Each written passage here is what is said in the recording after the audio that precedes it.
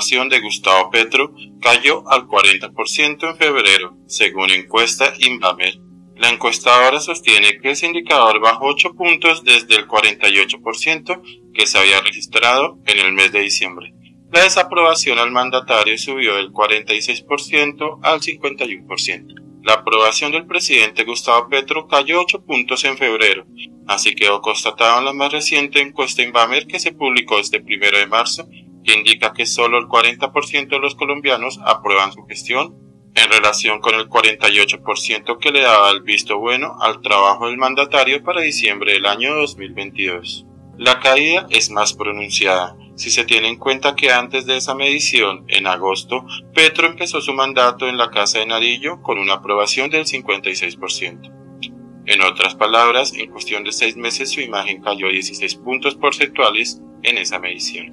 Entre tanto, la proporción de personas que desaprueban su administración subió del 44% en diciembre al 51% en el mes de febrero, marcando un incremento de 7 puntos porcentuales en ese indicador que mide INVAM. La desaprobación a Petro ha incrementado de manera sustancial, si se tiene en cuenta que en el inicio de su administración ese factor se ubicaba en un escaso 20% en el sondeo que hace Invamer. Además de la caída de la imagen del mandatario, ese estudio también dejó ver que el pesimismo de los colombianos aumentó en el lapso de la medición.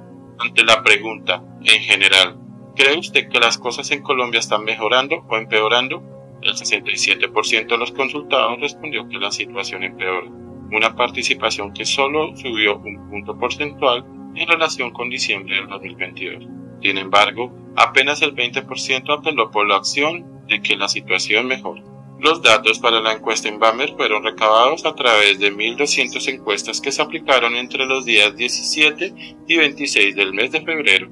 La información tiene un margen de confianza del 95%. El periodo en el que se recolectó esa información coincide con un laxo de discordias en el Congreso por la erradicación del proyecto de reforma a la salud que no ha conseguido el visto bueno de la mayoría de los partidos grandes. Partido Conservador, Centro Democrático la U, Liberal y Cambio Radical.